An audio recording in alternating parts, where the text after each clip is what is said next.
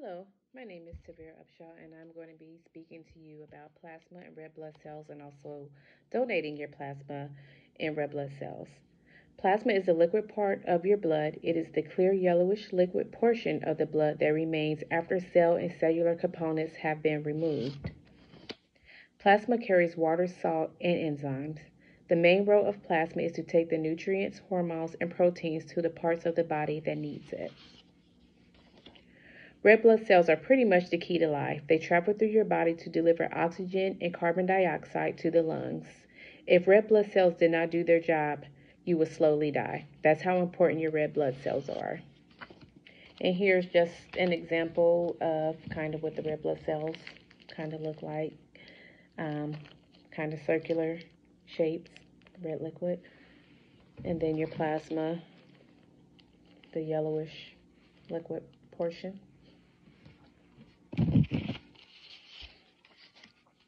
Plasma blood cells are the type of white blood cells that are produced in a person's bone marrow.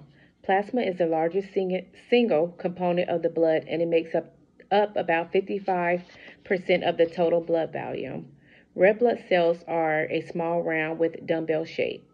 Red blood cells contain a protein called hemoglobin that carries iron. When the blood passes through the body tissue, hemoglobin releases oxygen to the cells, the average life cycle of red blood cells is 120 days, so your body is continuously making new cells. As you know, plasma and red blood cells are very important components in your body. The products can be used to save lives by donating. When donating, the licensed healthcare provider hooks you up to a machine that separates the vital parts from the plasma. This process can take two hours. When donating red cells, you would donate about a pint of blood. That can take 8 to 12 minutes. The products can help save the lives of people suffering from burns, shock, trauma, genetic disorders called hemophilia, and many more.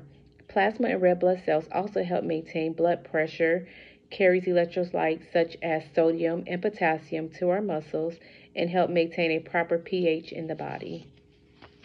There are different blood types such as O, A, B, AB, negative or positive to those blood types.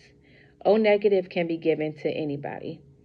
Um, AB blood type is very rare, only about 4% according to the Red Cross have that blood type. AB is the ideal blood type for donating plasma. That's why it's very important for those with that blood type to donate plasma. People with O negative are highly recommended for red blood cells, although all blood types are important, but again, O negative is a universal um, blood type. Just one donation can save up to three lives. When donating plasma, you have to be at least 18 years old and 16 years old for red blood cells with the parent's consent. There are some side effects when you donate. You may experience um, lightheadedness, um, nausea and vomiting, paleness and blurry vision, and also bruising from the insertion of the needle. However, this doesn't usually happen.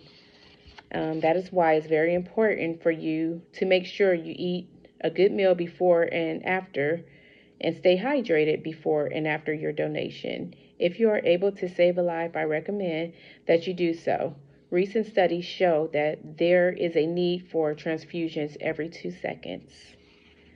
And so, again, if you're able to donate, I suggest you do so. Thank you.